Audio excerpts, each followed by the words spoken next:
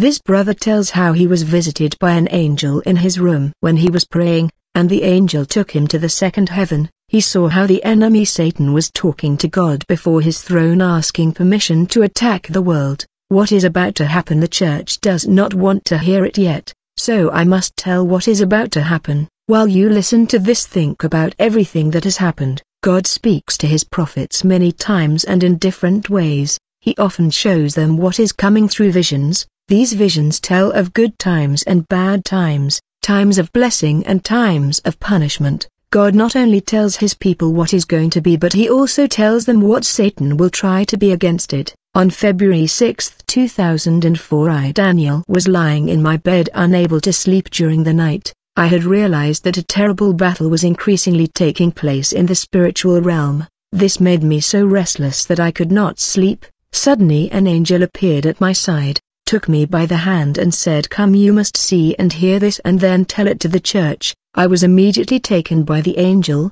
I don't know exactly where I went but I know it was to the spiritual realm. As we approached the place I saw thousands of demons all in combat gear, standing at attention in rows and rows, as far as I could see they were standing in a war stance, at attention, obviously waiting for instructions to attack next. We entered a huge room. It was really huge, it was like being in a dark CNA lit with a phosphorus-like substance that was red and black oozing out of the walls, and everywhere there were strange and horrible creatures crawling all over the walls and ceiling. As we flew over that room the angel pointed to a figure sitting on a throne in the front, and told me that is Satan the ruler of this world, and he said and these are your kings of the earth, your ruling demons, the room itself was filled with rows and rows of countless thousands and thousands of demons.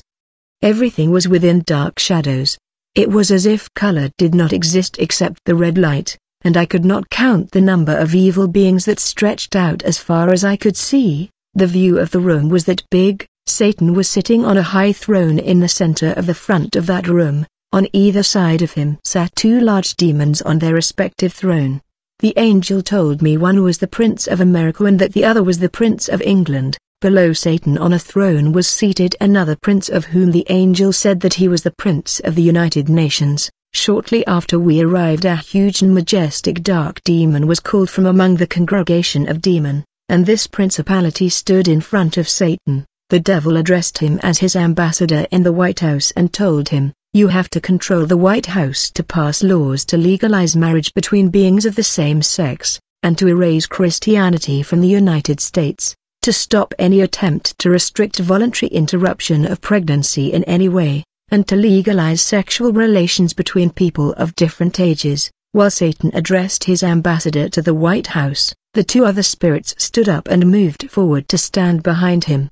The angel told me that one was the ruling spirit of lesbianism and the other is the ruling spirit of the and homosexuality. Satan told his ambassador to the White House, these two ruling demons of lesbianism and homosexuality were commissioned to support you along with all the warriors. He said to him, in the White House the spirit of incest, immorality, lies and deceit has been deeply rooted. These ruling spirits are installed to control the next president who takes office. They should work with you in the White House to destroy all the moral laws of America, the entire family tradition of America and the spirit of Christianity in America. Satan said, we have already succeeded in corrupting Congress with lust to sexual immorality, greed, lies and deceit. Satan seemed to sense that Congress was close to being completely under his control.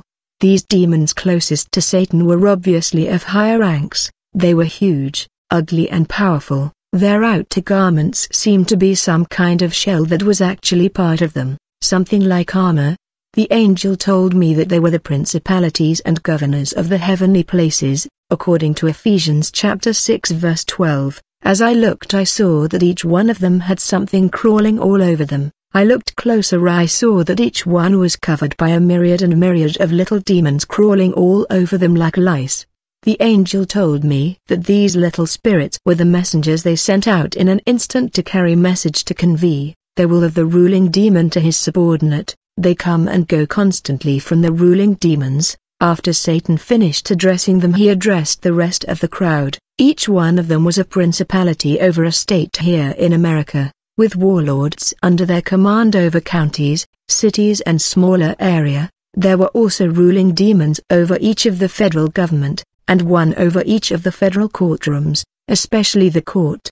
There was fury in his eyes and I had never seen such evil as there was in that place. His power defied all description. As Satan gave them orders I saw black lightning come out of his mouth and strike each of his leaders energized and strengthening them. He gave them a series of orders that I heard. He told everyone, go to the capital of your state and to each courtroom in your state and to the capital in Washington, D.C. and the federal courtroom. He told them, use all the influence you could over the men and women who are in those positions to corrupt them in the money, in intimate relationships, in lies, in threats, in greed for power and even death if they do not cooperate, you should make sure that laws and regulations are passed that make legal every abomination against God in that nation. Everything immoral practice must now become legal and accepted by the population of the United States. In truth the people require immorality, sexual relations between people of the same sex must be exalted and every form of sexual perversion must become acceptable as freedom of speech. Every mention or a symbol of Christianity must be eliminated especially from all public places and school. We must remove the word of God from America. We must make it illegal to mention God anywhere. Now you must work quickly to ban Christianity and turn it into the religion of hate. We must corrupt all people who occupy any position in the government. We must eliminate all family values and the sanctity of marriage. We must give the media carte blanche to do what they want in order to keep corruption continually before the eyes of the people. Now the age of minors to engage in any kind of intimate relationship must be granted. All parental rights we will set up camp where people can go without clothes, Satan said.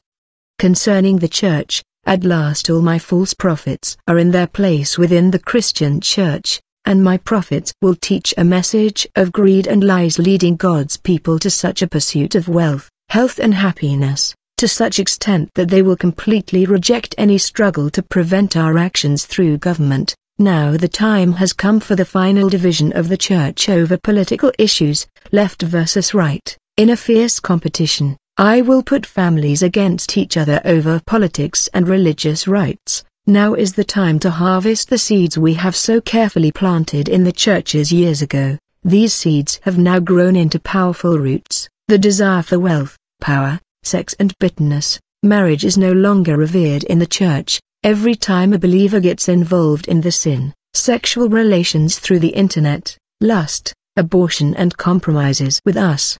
He opens a door for us to send more spirits into the church through these things. God's ability to use his power through him it is greatly diminished. You must use gossip, slander and defamation even more with more power, to make sure that the people of the church hear only negative thing about anyone who tries to administer the truth of their God. You must not allow anyone to expose or oppose our kingdom. You must cause more pregnancies out of wedlock therefore the voluntary interruption of pregnancies. You must make sure that this becomes a practice for all churches, we are already close to achieving it. Make a definitive now. You will make sure that the divorce rate in the church doubles in 2004. Do it by sending demons to attack married Christian couples, attack them with lust, bind them with discord with anger with discontent. It is time to free all our women who are charged to have intimate relationships within the churches, both men and women especially in Christian universities,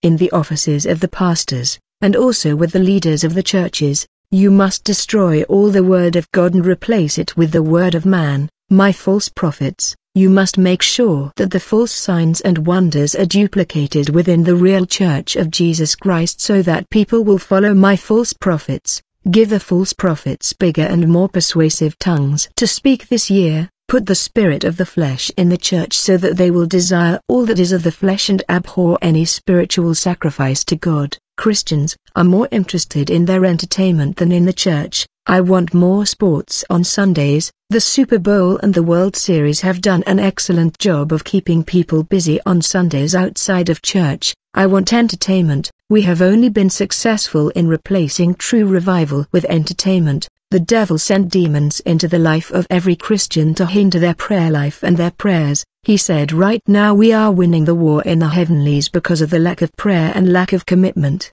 Right now all their prayers are selfish, they do not try to build the kingdom of God but rather they are trying to build their own kingdom on earth instead of the kingdom of God. They are too blind to realize today every church has become a kingdom ruled by one man, and a board of directors keep it up. I saw Satan give power and specially commission to a large number of the following spirits and sending them to the churches. I saw the tempting spirit, I saw the oppressive spirit, I saw the spirit of murder, I saw the spirit of the father of lies, I saw the lying spirit, I saw the accusing spirit, the deceiving spirit, the robber spirit and many spirits, each acting according to their name, and I heard the enemy say expand terrorism, strengthen the cells, I will send demons to teach you how to be more effective when we bring more tragedy tragedy, which is a weapon against Christians, when we bring more tragedy to the United States and to the churches, we will turn against their God and they will lose their faith when they suffer,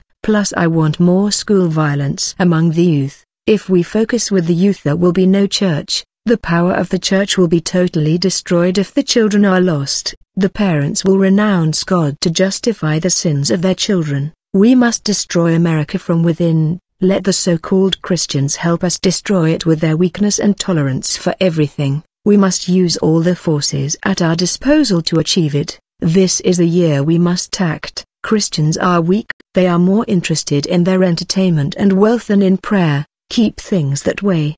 I will use all the lies and deceptions to destroy this current president so that I can bring my choice to power, with the church asleep and weak Christians that have no, we can use America's own laws to destroy it, we can use the judicial system to overthrow it, any law we do not like the world is against America right now, this gives us greater power, we must use that power of hate against America as a force for us, we must bring an avalanche of demons into the United States from the countries that serve me and through the regions that serve me, so that they can legally enter the states taking advantage of the hatred among them, and through these regions and these religions, prepare the army of darkness to come out and destroy everything that God claims is his, wage war in the homes, in the churches, in the schools, in the streets, in the workplaces, destroy peace everywhere, it is time to put men against women and women against women.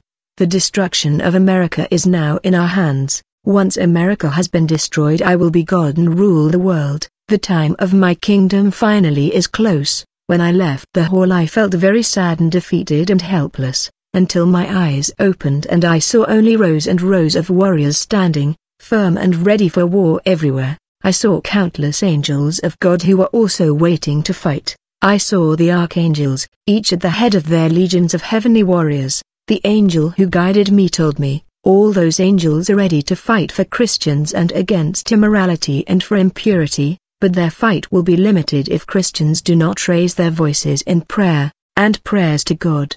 The angel voice sounded very sad. The strength of the angel is very limited by the lack of prayer, worship and commitment of the people of God. The angel showed me many more things but he forbade me to speak, in fact until God said it was the right time to do so. Oh glory to God, Holy Lamb of God who takes away the sin of the world, Lord Jesus receives all the glory for this tremendous terrible and powerful testimony.